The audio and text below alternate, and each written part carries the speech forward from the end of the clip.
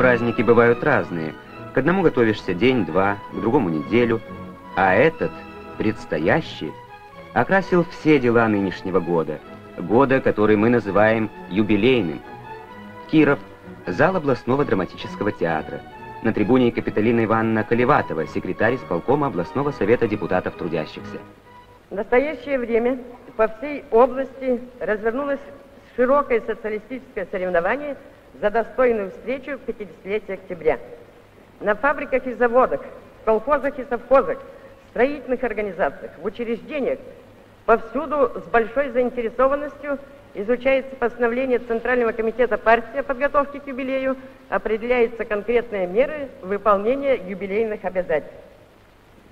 Учитывая, что женщины у нас занимают в целом ряде отраслей хозяйства главенствующее положение, им предстоит большая ответственность в выполнении социалистических обязательств, а в Компартии, область полком и областной совет профсоюзов решили созвать областной съезд женщин чтобы посоветоваться, договориться с вами о том, как лучше организовать работу в сельском хозяйстве, в промышленности и в других отраслях народного хозяйства в юбилейном году.